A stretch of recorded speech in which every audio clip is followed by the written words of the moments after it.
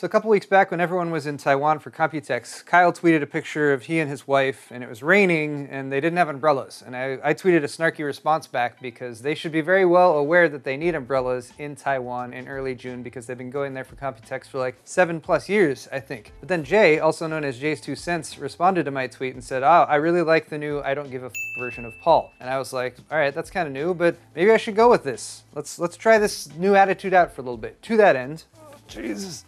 Oh God. This is the brand new Asus ROG Swift PG35V ultra-wide gaming monitor, G-Sync ultimate support, and 200 Hz refresh rates. It is going to cost a lot, about $2,500 according to Asus. Asus said that they really only sent a couple of these out for review to me and Linus Tech Tips, so just wanted to point out that by comparison, your monitor is horrible. I have this and you don't, so suck it. Excellent! Cooler Master's SF series fans feature addressable RGB LEDs and a square design to maximize fan mount coverage and generate high pressure airflow. Available in standard 120mm size as the SF120P, as well as the dual fan 240mm option in the SF240P ARGB. Cooler Master has integrated multiple layers of noise reduction technology and an optimized fan blade design into this series, so click the sponsor link in the description to learn more.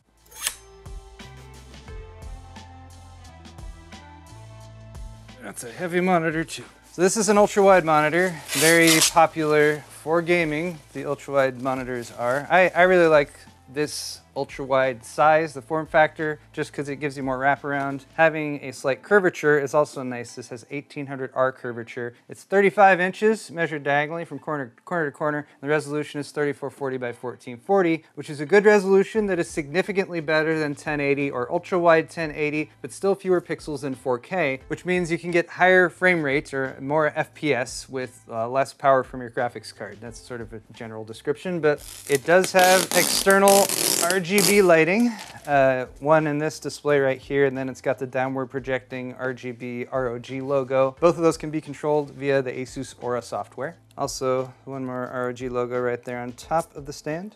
If you're special like me and you have this monitor, you also get a big old box of accessories, starting with a Batarang or no, this is actually an additional panel you can put on the back. After you get everything wired up with your cables, you want it to look pretty. So that is a cover. I'll show you how that goes on in just a second. We have some paperwork also to confirm how awesome I am for having this monitor. I am an Asus VIP. This is just to notify me of that. And then we have also, uh, I am part of the Elite Republic of Gamers community now, which has tons of perks as outlined in this. This also has a sort of a quick start guide as well as safety info. You get this squishy pouch stash bag for storing your mustaches. Uh, also in that is these ROG logos. And I've never actually had an Asus ROG monitor that has a downward firing thing, but it doesn't come pre-installed. So that pops on the back and then the light shines through this. So you can swap that out for a different ROG pattern if you want to, or they provide you with some blanks so you can make your own.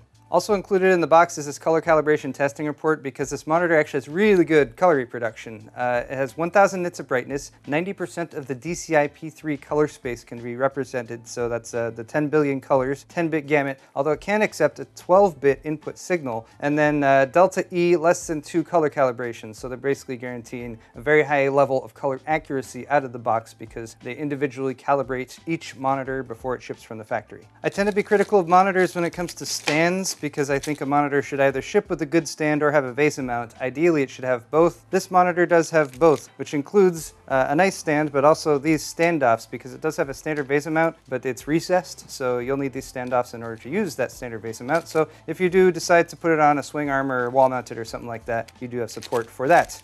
Good job, Asus, including those in the package. It does have a fairly large external power brick, and in fact, this monitor has three internal cooling fans as well that Asus has done some work to make sure that they ramp up and down at the right speed to make sure things are staying cool while also minimizing the amount of uh, noise that's generated. Big power brick, so you're going to need to find a spot for that. The plus side of having an external power brick is that if it fails or something like that, you can replace it without having to replace the entire monitor, and they do include both sides of the cable, so that's nice too. And last lastly, we have three included cables. An HDMI, and it can do up to 100 hertz at full resolution via HDMI. DisplayPort, where you can get up to 200 hertz. So if you're gaming, you want to be connecting via DisplayPort, ideally to an NVIDIA graphics card. And then finally, there is a USB extension because it does have an integrated USB hub. Not just a USB hub though, they have also integrated a sound card basically into this monitor. It has an integrated ESS ES9118 headphone amplifier that supports audio output at up to 24-bit 192 kilohertz, which means that yes, you can plug into the 3.5 millimeter jack on this monitor and still get good sound. And that also allows you the convenience of connecting up via HDMI and just having the single cable for sound. Just bear in mind if you're doing HDMI and going through the headphone jack, you're limited to 16-bit 48 kilohertz. If you really want to fully make use of the integrated sound card, you want to connect via USB. I've laid the monitor flat here just for a second so we can handle a few things. There's a Kensington lock I always like to point that out. And uh, back here we have some designs, some, you know, apart from the lighting, which I'm gonna plug in in just a second and show you. I mean, this really cool aesthetic design on the back of your monitor. And some of you might be thinking, an aesthetic design on the back of the monitor, I'm never gonna see that. But those of us who own a monitor of this caliber and quality know that it really is what sets it apart from the rest uh, that's available and, you know, just gives you that feeling of superiority. Back here, you have the I.O. There's an HDMI and a display port out, and then there's the uh, USB input. There's a couple USB 3.0 ports back there. It's pretty much all apart from connecting up power as well. And then you can route those cables back through the stand where there's a little port that uh, helps keep your cable management nice and tidy. Speaking of the stand down here at the bottom, we have it installed the ROG logo. Uh, we're just going with the default one for now and uh, just been routing the cables up so that we can plug stuff in and do some testing with this monitor. Also wanted to show you guys how this panel pops on just like this. And look, look how much cleaner that is. All of you guys probably don't have this feature on your monitor, which is why this one is better. You actually can put the uh, downward firing logo on while you're installing the monitor's base and stand, which is what you're supposed to do. But also, I want to point out that there's a little cap over the lens here that you're supposed to remove somehow. Somehow. Oh, there we go. Now normally I don't spend too much time on gratuitous sexy b-roll footage in my videos, but for this monitor, hey, why not make an exception? So a few things you might notice physically about this monitor. One is that Asus is still calling monitors bezel-less, even though it has clearly about a quarter inch bezel around the entire outside. I guess that's a trend that's just gonna continue, but I just wanna point out this is not an edge-to-edge -edge screen, and I don't know why they're trying to tell you that it is. The stand, apart from having those fancy chrome accents as well as the downward firing LED, does have height, tilt, and swivel adjustment, which is just about all you can expect for an ultra wide. And I will also note that it doesn't cost $1,000 extra. The only other things physically about this monitor I wanted to point out are that the controls are sort of tucked around the back right side and there is a joystick to allow you to navigate through them, which is pretty convenient. They're pretty easy to get to and not too difficult to navigate through the menus with. And then I wanted to point out that for all the extra effort that Asus went through to give you a better sound solution for this, and I have been testing it and it does sound better. I can't really show you guys that because you're listening to it through your own sound devices, but it does sound better though if you plug in via USB and go uh, via the included ESS amplifier. But if they really wanted people to use this, they should have repositioned the headphone jack. It's still positioned back there with all of the video in and outs, which means that if you put this cover on, you can't get at it. Moving on to some testing though, and for the sake of comparison, I've set this up side by side with my LG monitor, which is the 34GK950F, which is a 144 hertz monitor. It's 34 inches rather than 35 inches, so just slightly smaller, but the same resolution, 3440 by 1440. It supports FreeSync 2 as well as HDR HDR 400, so the lesser variant of the HDR 1000 that the Asus monitor supports. And when it comes to setting up the PG35V, it will run at 180 hertz max out of the box. So you do need to jump into the menu and go to the overclocking function, which is the first thing on there to turn on 200 hertz mode to get full range of 1 to 200 hertz G-Sync support, which is a nice feature, especially if you dip into the really low frame rates. Uh, it supports down to 1 hertz refresh, which would be awkward, but good to have the full spectrum supported there. It does also have a blue light filter built in, levels 0 through 4 supported, and then there's some game visual modes that you can access if you're not in HDR mode. Uh, racing mode will get you the fastest response time. Uh, I did most of my testing in sRGB except for my click to response time that I'll get to in just a second. Also, if you go in the image image menu, you'll find an overdrive function. And one of the things that I noticed as I was doing side-by-side -side testing was some more noticeable ghosting with the Asus monitor as compared to the LG. They're supposed to have similar pixel response times in the 4 millisecond range, uh, but I did notice when the Asus monitor had overdrive off, there was noticeable ghosting. You can turn overdrive mode to normal or extreme. Normal did reduce that ghosting a bit, so that's probably the mode I would play in. When we went to extreme though, it went a little bit too far and it caused a corona effect, which is kind of the inverse ghosting that hopefully you can see in some of these slow-mo frames. All that is to say though, from a direct panel to panel comparison, there's definitely a little bit worse ghosting on the Asus than on the LG, which is kind of disappointing because the LG monitor is currently available for a little bit less than $1,000, which is a lot less than the about $2,500 expected retail price of the Asus. Another function available in the menus is the variable backlight. It has a 512 zone backlight with full array local dimming. Since it's a VA panel that it's using, it does still need a backlight and 512 zone is just about as good as you can get unless you go all the way to OLED. That said, you can adjust how fast or slow those zones actually light up or dim down, but I did notice some haloing happening, which is one of the negative sides of a full array local dimming backlight like this one. And that just means that when there's extremely high contrast, uh, you might see certain areas of the screen light up because you can actually see the backlight lighting up. So if you're looking at a very dark image with small points of light, you might see halos around them. I was running through the LG Chess 4K demo, uh, which is supposed to call this out a little bit more. Fortunately, when watching video or playing games, this effect is really not very noticeable. I had to sort of tease it out by setting the background to gray and moving a window around. And here you can really see when the backlights light up and dim. But again, in practice, it wasn't that noticeable, just something that some people who are prickier about their displays, especially if you're spending 2,500 bucks on one, might notice. Just rounding out, going down the menu, there's a Game Plus menu that allows you to put a crosshair or a timer or a FPS counter overlay on the screen. Asus has been doing that for a while. It is available in this monitor too. And then if you go into the system setup menu, you can go to the light in motion, Aura Sync, or Aura RGB functions, and those are what's gonna allow you to manually control the LED that's on the back of the monitor, the downward firing LED that lights up the desk underneath the monitor stand, and uh, you can actually set those to specific colors. There's a few basic effects that are available in there, or you can just switch over to Aura Sync mode, in which case if you have the USB plugged in, you can use the Aura Sync software to synchronize everything up with your computer and the RGB LEDs that you no doubt have installed there. Last thing I wanted to mention here is that in the setup menu, you can go and tell it whether it's going to use the HDMI pass-through with the integrated audio just as is, which will get you lower sound quality, or you can plug in via the USB, have it recognize it as a sound device on your system,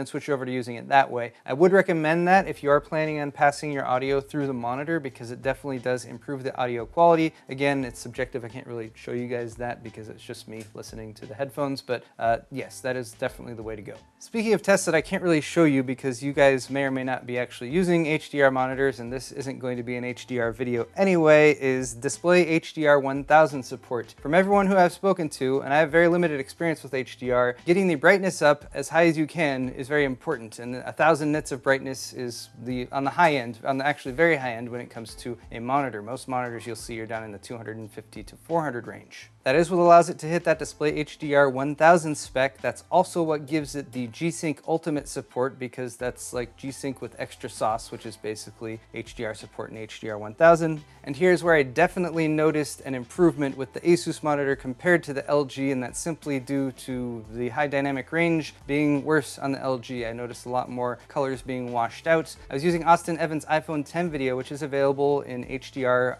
4K on YouTube, and you can just see a lot more normal normal gradation of tones on the Asus monitor. I, saw, I, noticed things were a lot more washed out on the LG, so when it comes to HDR support, I think that's definitely an area where this monitor shines. I'm still developing my monitor testing techniques, but I wanted to do a click-to-response time test using a high frame rate recording with the camera that I have, which can go up to 180 frames per second. So basically, in my admittedly limited tests, the Asus monitor took about 23 frames to actually show a response versus the LG, which took about 14 frames to show response. That's out of 180 frames total it was recording per second. So according to my calculations, that's about uh, 80 milliseconds of input lag on the LG and about 120 or 125 milliseconds of input lag on the Asus. So the LG was a little bit faster in that respect as well. Finally, we just did some live gameplay testing. I had Joe test out Apex Legends because you can actually play it in ultra wide, although it is stretched at the edges. But he noticed uh, a lot more smoothness, even compared going from the 144 hertz from the LG to the 200 200 hertz for the Asus, and he was going to win both matches. He won the match he played originally on the LG monitor, and uh, that just goes to show more frames obviously makes you a better gamer. And then I think he was going to win the one he was playing on the Asus monitor too, except for the system froze up. And I have no idea if that was because I have the new Windows 1903 update or something to do with HDR or the dual monitors or if Arctic Panther just decided to take a crap on me. I'm not sure, but it's definitely worth repeating that playing 200 hertz G-Sync is a buttery smooth gaming experience, especially for an FPS game. I did a little bit of gaming too. I played some Overwatch, which is kind of silly because it doesn't support ultra wide unless you crop it, which is you don't want to do anyway. But still, even if you're playing a 16 by 9 game, you're still taking advantage of the high refresh rate and everything. So I would say still worth playing. Um, although Metro was probably made a little bit more sense because I could actually play that in ultra wide. So let me try to sum up this video for you guys if I can. This monitor is absolutely awesome for gaming and uh, hopefully some of my testing has brought that across to you. Is it worth the price that Asus is charging for it right at launch of about $2,500 US? Uh, probably not for most people just because that's very expensive. That's a lot more than most people I think spend on a monitor, but I think there is a niche of people with the money who have been waiting for this uh, confluence of features, that being the form factor, ultra wide, the size, the resolution, the super high refresh rate at 200 hertz with G-Sync, as well as the color ac accuracy, um, which I don't think we've really seen in a monitor of this caliber. Now, I think what Asus maybe should have done is cut down on some of the extra features of this monitor, like all the RGB stuff on the back, the housing. That stuff looks really cool. Let's be honest, it makes me feel happy a little bit, but ultimately, in most situations, it's gonna be facing the wall like it is right here, and you're never gonna see it again. Same goes for having an artfully designed stand with the downward firing LED logo. I mean, sure, monitor stands are very expensive these days and can sell for upwards of a $1,000 or so I've heard, but I feel like Asus could have cut back on some of that stuff, maybe not worried about the integrated audio, and cut down on the price and made it a little bit more reasonable for some people. And who knows, maybe Asus will make a slightly cut down version of this monitor that uses the panel technology, but removes some of that other stuff and makes the price a little bit less, who knows. My negatives for this monitor are definitely going to be uh, the haloing that's happening from the backlight, the ghosting that's happening. Uh, it wasn't really bad ghosting, I want to point that out. It's only go bad ghosting because I'm comparing it to this LG monitor that has really next to no ghosting. And then I think the input lag could be improved a bit as well. But overall, the gaming experience on this monitor is absolutely amazing. Uh, same goes for media playback. So if you guys are looking for a monitor and you've got the money, definitely consider this one. But I would keep an eye out as well for alternatives that might have a very similar set of features as this Asus monitor that maybe aren't the over-the-top super premium RG with lots of RGB LEDs and everything that uh, tends to cost a little bit more. I'm hoping that this technology will be more accessible for more people in the future and that way I won't have to make videos like this where I simply gloat and point out to you guys that I have this and you don't. But for now, I guess that's all I can do. So guys, if you enjoyed this video, please hit the thumbs up button. Uh, if you enjoyed my slightly different take on an approach, then, you know, let me know that in the comments section below as well, and we'll see you guys in the next video.